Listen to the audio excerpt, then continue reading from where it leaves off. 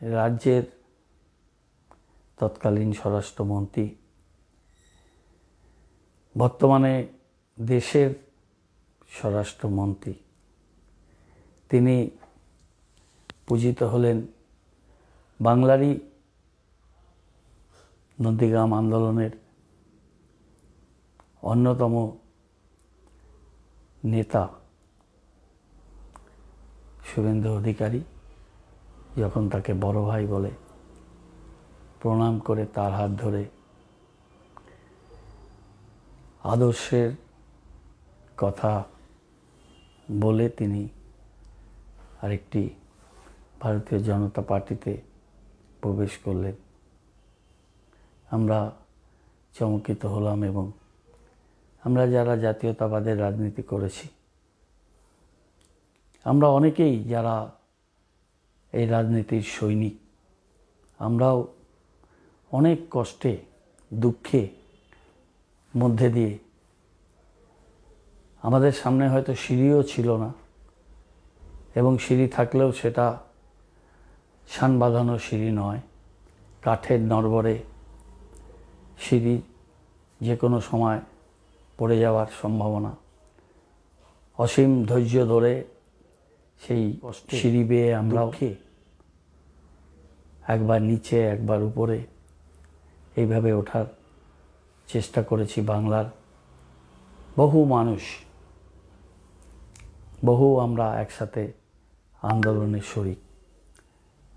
হ্যাঁ আমরাও ছাত্র রাজনীতি থেকে উঠে আসা এবং একটু বেশিই হয়তো ছাত্র রাজনীতি করেছি। আটাত্তর সালে যখন সিদ্ধার্থবাবু সাতাত্তর সালে ইলেকশন লড়লেন না, তার আগে ইন্দিরা গান্ধী পরাস্ত হয়েছেন প্রথম কংগ্রেস। ভারতবর্ষে এমার্জেন্সির পর প্রবল কংগ্রেস বিরোধী হাওয়া। শিলিগুড়ি কলেজ ছটা পঁয়তাল্লিশের মর্নিং বিভাগ এবং সাড়ে চারটা ইভিনিং ক্লাস শুরু হওয়ার আগে পর্যন্ত সবচেয়ে বড় উত্তরবঙ্গের কলেজ। সমস্ত স্টুডেন্টদের ভোট দেয় প্রবল বামপন্থী হাওয়ায়। কলেজের জীবনে ঝুঁকি নিয়ে ইলেকশন আমরা জেতা। চারবার পুরসভায় জিতেছি, চারজন কাউন্সিলর ছিলাম তিরিশ জনের মধ্যে, দুবার অপোজিশন লিডার চারবার মৃত্যুর মুখ থেকে ফিরে এসেছি হসপিটালাইজড এটা আমরা, আমাদের জীবনেও ঘটেছে। দুবার অ্যাসেম্বলিতে জিতেছি, জীবনে হারিনি কোনো দিন তাই আরেকজন আন্দোলনের নেতা বয়সে অনেক ছোট হলেও নিঃসন্দেহে তাকে শ্রদ্ধার আসনে বসিয়েছি। তার সেই দীপ্ত আন্দোলনের ভঙ্গি আমাদের অনুপ্রাণিত করেছে। আবার আমাকে অনেক বেশি আপ্লুত করেছে যখন নজরুল মঞ্চে শিশির অধিকারীর মতো বসিয়ান পিতৃসম নেতা যখন আমাকে জড়িয়ে ধরে বলেন যে যখন পাহাড়ে বিমল গুরুংদের দ্বিতীয়বার আন্দোলন হচ্ছে, যখন পাকদণ্ডি বেয়ে কোনো সময় কাশিয়াংয়ের দিক থেকে উঠছি উপরে খাদ্য শস্য নিয়ে বা কোনো সময় গরুবাথান দিয়ে কালিম্পংয়ের দিকে গরিবাস হয়ে পেরঙের দিকে যাচ্ছি উনি বললেন যে এই বয়সেও এই যে লড়াই, জীবনের ঝুঁকি নিয়ে সেটা তাকে অনুপ্রাণিত করছে, আমাকে জড়িয়ে ধরেছিলেন তখন ঠিক পেছনে বসেই যিনি তার পিতা এবং আমাকে আলিঙ্গন করা দেখছিলেন এবং খুব সুন্দরভাবে হাসছিলেন, তিনি আমাদের বয়সে অনেক ছোট হলেও শুভেন্দু অধিকারী। কালকে অনেক কষ্ট হয়েছে। ঠিকমতো রাতে ঘুম হয়নি, প্রেশার অনেক বেশি ছিল। কারণটা একটাই যে আমাদের পরবর্তী প্রজন্মের এই বলিষ্ঠ নেতৃত্ব খুব কষ্ট হলো দেখে। যখন তিনি আদর্শের কথা বলছেন, আর অমিত শাহ, যার ওই সাদা পাঞ্জাবিতে এই গুজরাট দাঙ্গার দাগ লেগে আছে, তিনি, আর যাই হোক, ভারতবর্ষের বাংলার ঐতিহ্যশালী সংগ্রামী বাংলা বিপ্লবীদের পীঠস্থান বাংলা। বিপ্লবীদের এবং সমাজ সংস্কারের পথপ্রদর্শক মেদিনীপুরের বাংলা। সেই বাংলার তিনি মুক্তির সূর্য হয়ে বাংলার পরিত্রাতা হয়ে তিনি বাংলাকে উদ্ধারকর্তা আর যেই হন অমিত জেসা, সেটা নিঃসন্দেহে হতে পারেন না। এবং তাকে যখন নতজানু হয়ে প্রায় পদস্পর্শ করে হাত দিয়ে তাকে প্রণাম করে যিনি সদর্বে ঘোষণা করছেন, তিনি আমাদের আন্দোলনের একজন শরিক। আমরা বহু আন্দোলন করেছি এবং তার রাজনৈতিক জীবনের থেকে আমাদের রাজনৈতিক জীবনটা আরও অনেক দীর্ঘ।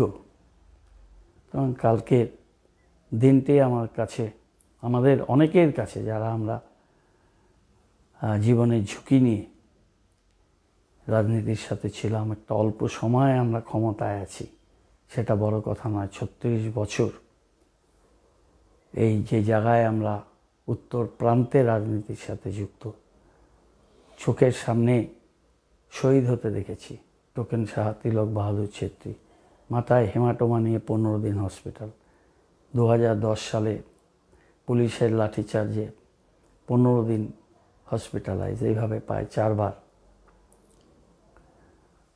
বেঁচে থাকারই কথা নয়, সেই অবস্থায়। আমরা কালকের যে ঘটনা এবং সবচেয়ে দুঃখজনক ঘটনা, মমতা বন্দ্যোপাধ্যায় তিনি একটা আন্দোলনের প্রতীক। তিনি সিম্বল অফ স্ট্রাগল শুধু একটা ঘটনা নয়, তার আন্দোলন। ইসলামপুর থেকে আমি সাথে ছিলাম, তিনি যখন সিঙ্গুরের দিকে যাচ্ছিলেন, বাই রোডে, শোভন ছিল গাড়িতে। অনেক দূর, ডালখোলা পর্যন্ত চলে গেলাম, পরে তিনি পৌঁছতে পারলেন না জায়গায়। পুলিশ তাকে ঘিরেই ফেলল শেষ অব্দি ছাব্বিশ দিনের অনশন স্বাধীনতাত্তর ভারতবর্ষে একটা আলোড়ন তৈরি করেছিল। সিঙ্গুরের আন্দোলন শুধু টাটারা সেখানে গাড়ি তৈরি কারখানা করবে তার আন্দোলন নয়। আঠারোশো উননব্বই সালের যে জমি অধিগ্রহণ আইন, ল্যান্ড অ্যাকুইজিশন অ্যাক্ট কালো ব্রিটিশ আইন, যেটাতে সরকার একবার জমি অধিগ্রহণ করে নিলে সেই জমি আর ফেরত দেওয়া যায় না।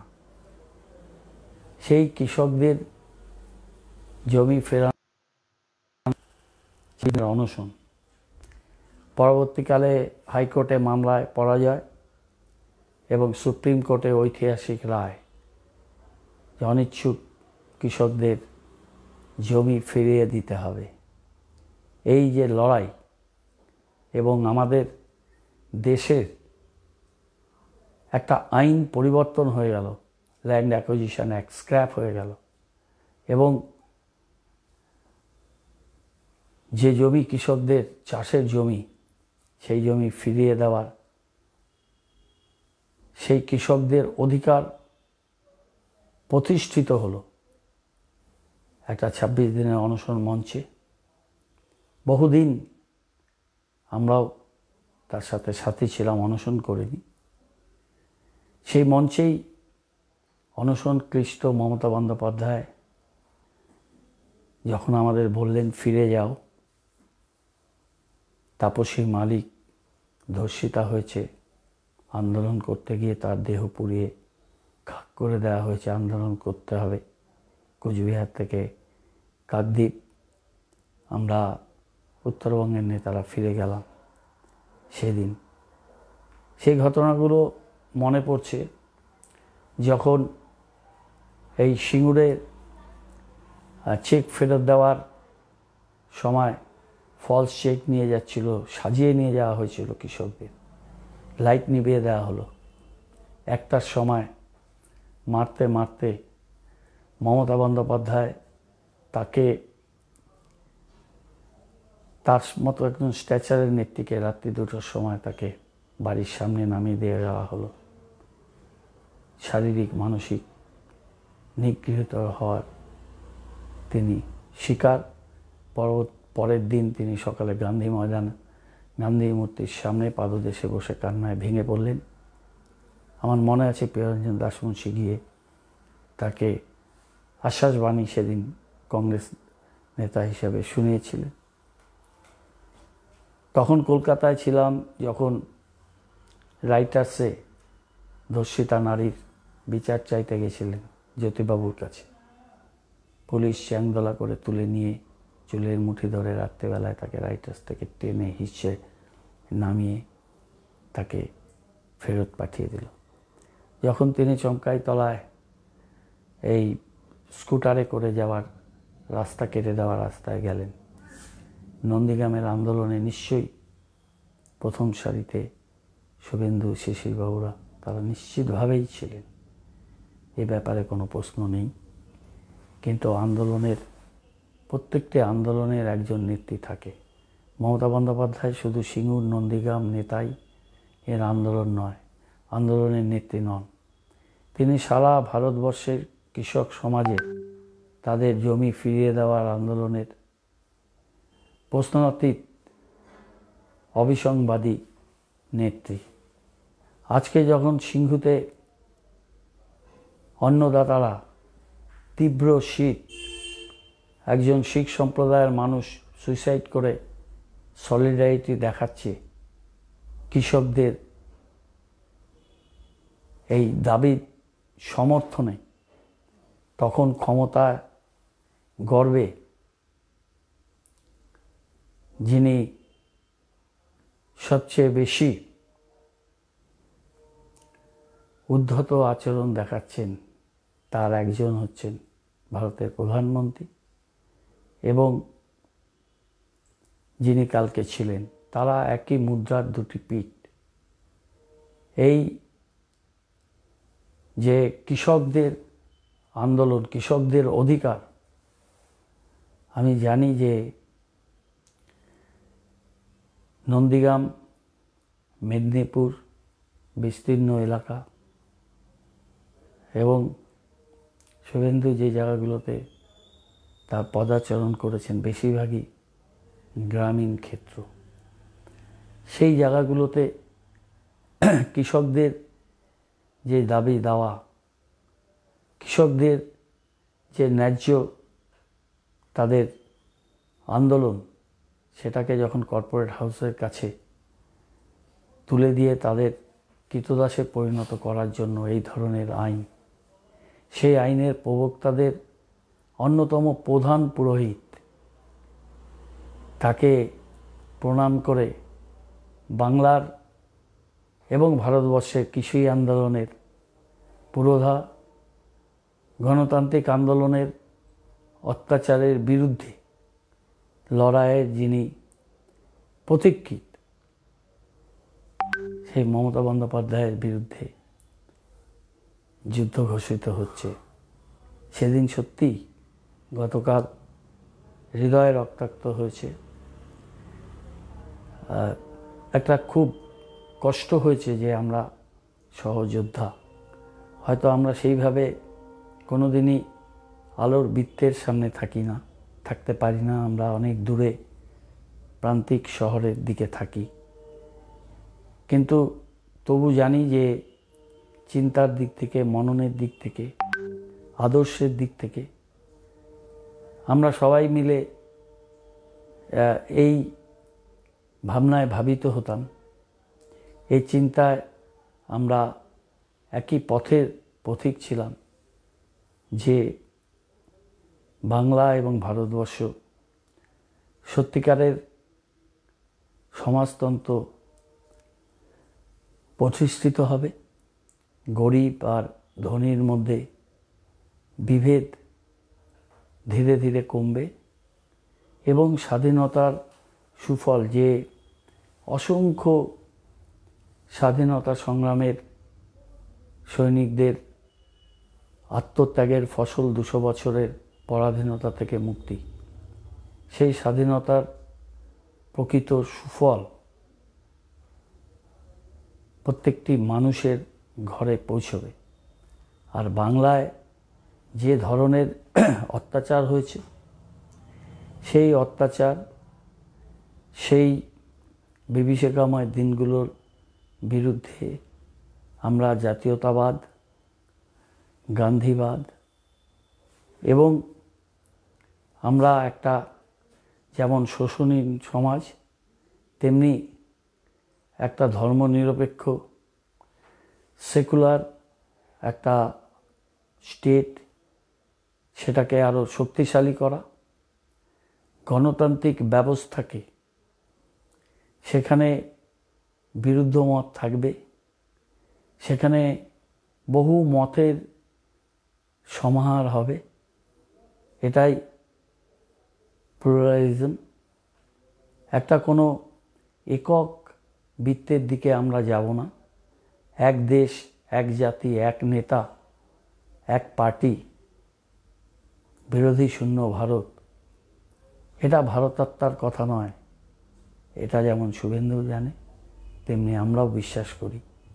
এবং সেই বিশ্বাসের যখন মৃত্যু হয়, যখন আমরা গান্ধীবাদ থেকে সঙ্গে গোলকোয়ারবাদের দিকে আমরা ঝুঁকে যাই, তখন মনে হয় আমাদের আদর্শের মৃত্যু হয়েছে।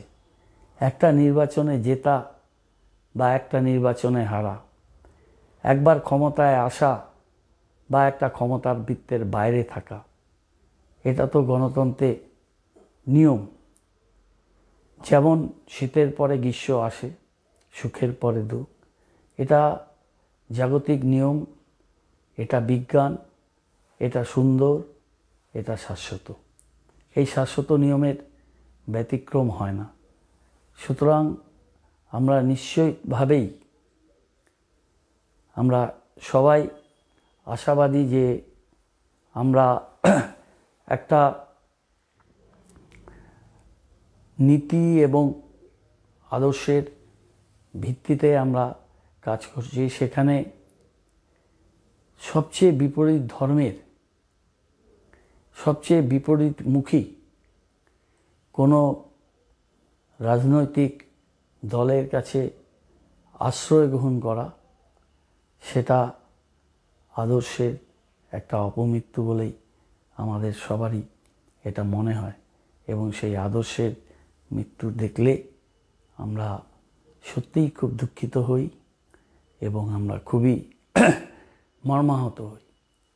সম্মান এমন একটা বিষয় যে সম্মান respect cannot be demanded it has to be earned সম্মান অর্জিত বিষয়, এটা দাবি করে আদায়ের বিষয় নয়। সুতরাং এই আত্মসম্মান, আত্মবোধ, আত্মসম্মানবোধ, সম্মান অর্জন করা নিশ্চিতভাবেই এটা অর্জিত বিষয় এবং সেটা মানুষের কাছে আপনিই আসে। যিনি শুভেন্দুকে বলল যে, সম্মান নিয়ে দল করার জন্য সব ছেড়ে চলে আসতে। আমার মনে পড়ে সেদিন আমি মঞ্চে ছিলাম। যখন শুভেন্দুকে সরিয়ে কালকে মঞ্চে যিনি পাশে ছিলেন, বাপ্পা সৌমিত্র খান পাশে ছিলেন হাসছিলেন তাকে সভাপতি করা হয়েছিল। নিশ্চিতভাবেই সেদিন এই সিদ্ধান্ত পার্টির ছিল। সেই সিদ্ধান্ত যিনি মূল হোতা এবং যাকে সামনে রেখে এটা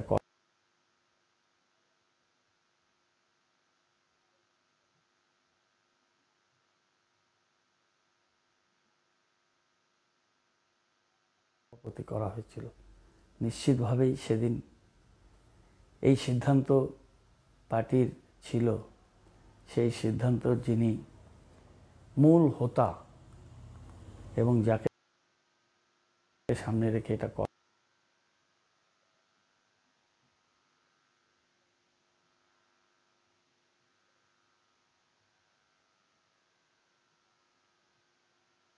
করা হয়েছিল। নিশ্চিতভাবেই সেদিন এই সিদ্ধান্ত পার্টির ছিল। সেই সিদ্ধান্ত যিনি মূল হোতা এবং যাকে সামনে রেখে এটা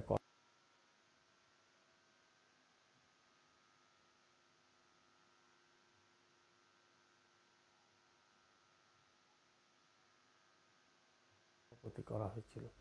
নিশ্চিতভাবেই সেদিন এই সিদ্ধান্ত পার্টির ছিল। সেই সিদ্ধান্ত যিনি মূল হোতা এবং যাকে সামনে রেখে এটা করা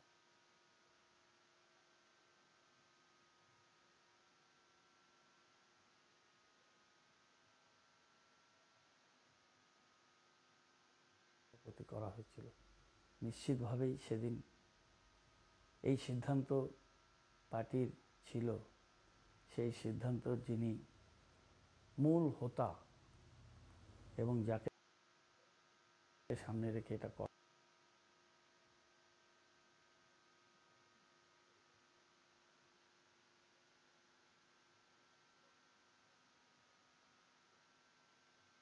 করা হয়েছিল। নিশ্চিতভাবেই সেদিন এই সিদ্ধান্ত পার্টির ছিল। সেই সিদ্ধান্ত যিনি মূল হোতা এবং যাকে সামনে রেখে এটা কর।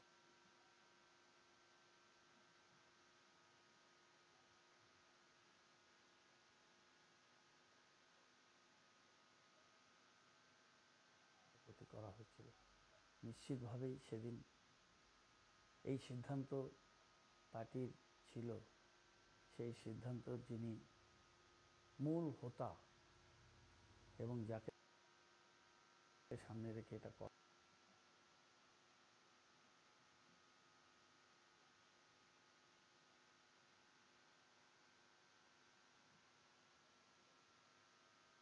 প্রতি করা হয়েছিল নিশ্চিতভাবেই সেদিন এই সিদ্ধান্ত পার্টির ছিল। সেই সিদ্ধান্ত যিনি মূল হোতা এবং যাকে সামনে রেখে এটা করা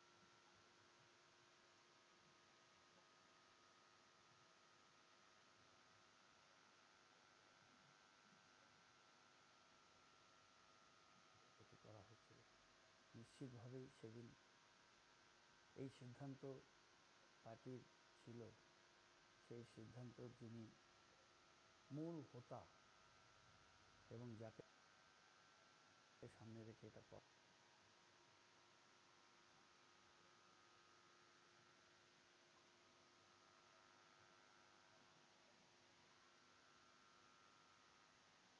করা নিশ্চিতভাবেই সেদিন এই সিদ্ধান্ত পার্টির ছিল সেই সিদ্ধান্তর যিনি মূল হোতা এবং যাকে সামনে রেখে এটা করা করা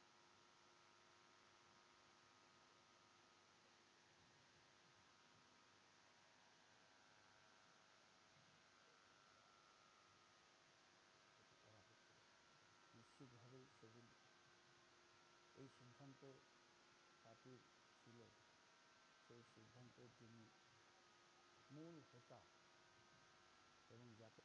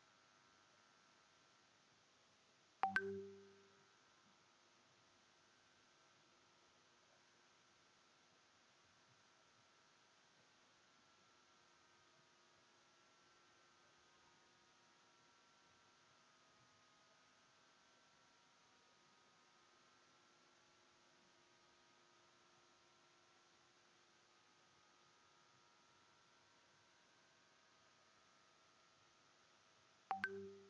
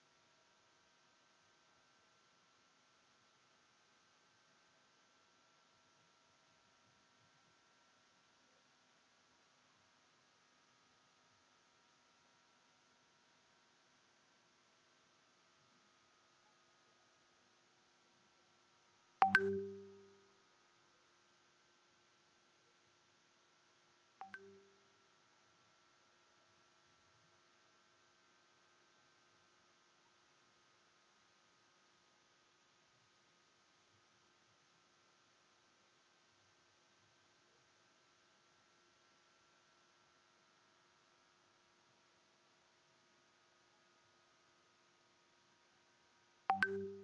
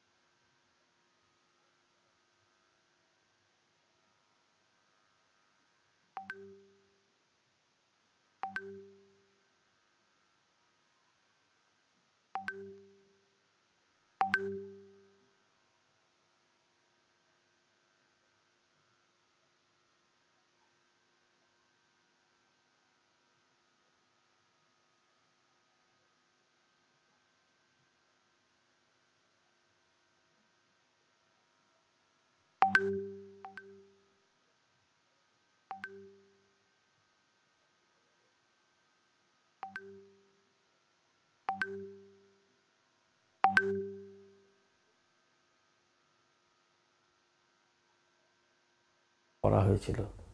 তারা দুজন ছিলেন মঞ্চে। এবং কালকে সবই রাত্রি বারোটায় মধ্যরাতের স্বাধীনতার মতো ঘোষণা মনিটাইজ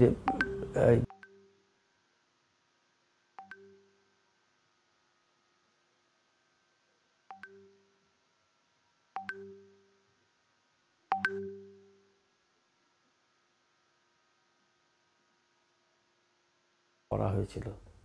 তারা দুজন ছিলেন মঞ্চে। এবং কালকে সবই রাত্রি বারোটায় মধ্যরাতের স্বাধীনতার মতো ঘোষণা মনিটাইজ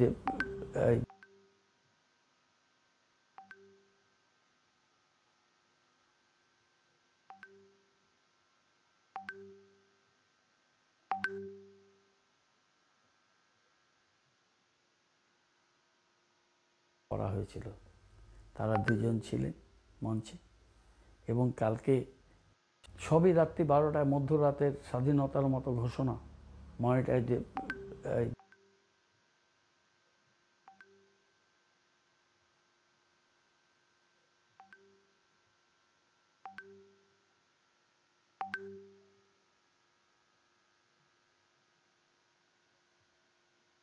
করা হয়েছিল। তারা দুজন ছিলেন মঞ্চে এবং কালকে সবই রাত্রি বারোটায় মধ্যরাতের স্বাধীনতার মতো ঘোষণা মনিটাইজ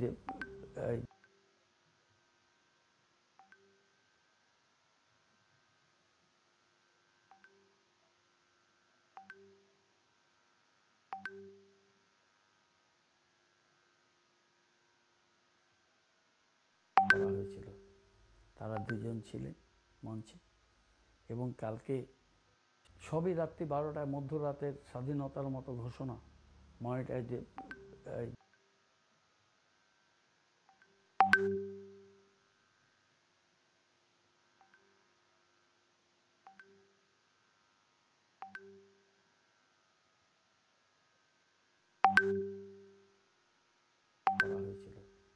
তারা দুজন ছিলেন মঞ্চে এবং কালকে সবই রাত্রি বারোটায় মধ্যরাতের স্বাধীনতার মতো ঘোষণা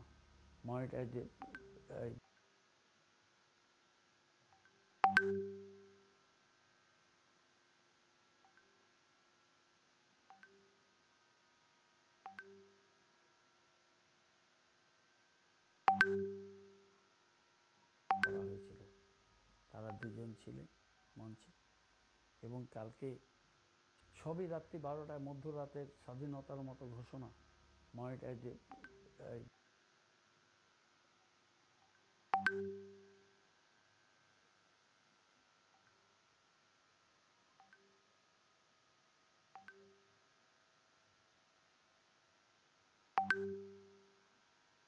করা হয়েছিল। তারা দুজন ছিলেন মঞ্চে। এবং কালকে সবই রাত্রি বারোটায় মধ্যরাতের স্বাধীনতার মতো ঘোষণা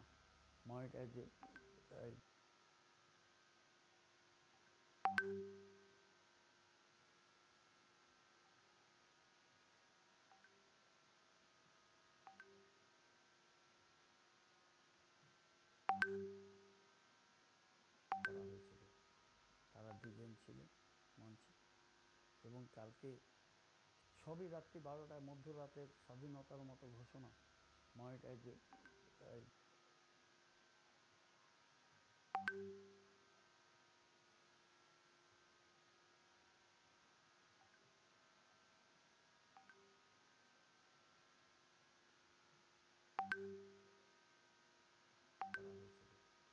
তারা দুজন ছিলেন মঞ্চে। এবং কালকে সবই রাত্রি বারোটায় মধ্যরাতের স্বাধীনতার মতো ঘোষণা। নয়টায় করা হয়েছিল